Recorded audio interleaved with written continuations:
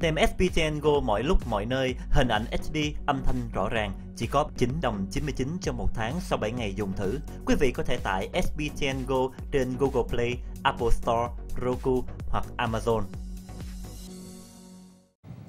Thưa quý vị, dân biểu Joe Lofgren nhận bảo trợ cho tù nhân lương tâm Nguyễn Bắc Truyển. Dân biểu Joe Lofgren của Viện Hạ viện Hoa Kỳ, thành viên của Ủy ban Nhân quyền Landstos và đồng chủ tịch nhóm Quốc hội Mỹ về Việt Nam tuyên bố nhận bảo trợ cho tù nhân lương tâm Nguyễn Bắc Truyển, người đang bị cầm tù ở Việt Nam vì tội danh ngụy tạo, hoạt động nhằm lật đổ chế độ.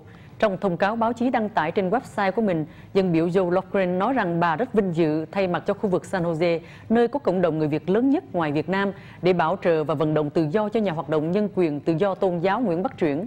Bà viết rằng nhiều báo cáo cho thấy Hà Nội không tôn trọng quyền tự do tôn giáo và người Mỹ cần khuyến khích những người dũng cảm như ông Truyền trong cuộc đấu tranh đòi tôn trọng nhân quyền như công dân Hoa Kỳ đang thụ hưởng. Ông là người cung cấp nhiều hỗ trợ pháp lý cho nhiều gia đình tù nhân lương tâm cũng như nạn nhân của đàn áp tôn giáo và cướp đất của viên chức cộng sản vốn phổ biến ở Việt Nam. Dân biểu Jokren là thành viên thứ hai Quốc hội Hoa Kỳ nhận bảo trợ cho ông Truyền. Trước đó, dân biểu Hartley Ronda cũng nhận bảo trợ cho ông Truyền. Việc bảo trợ này nằm trong, nằm trong dự án Defending Freedom Project.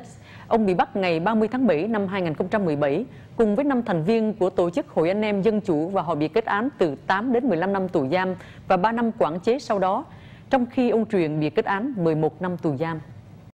Tem SPTN Go mọi lúc mọi nơi, hình ảnh HD, âm thanh rõ ràng, chỉ có 9 đồng 99 cho một tháng sau 7 ngày dùng thử. Quý vị có thể tải SPTN Go trên Google Play, Apple Store, Roku hoặc Amazon.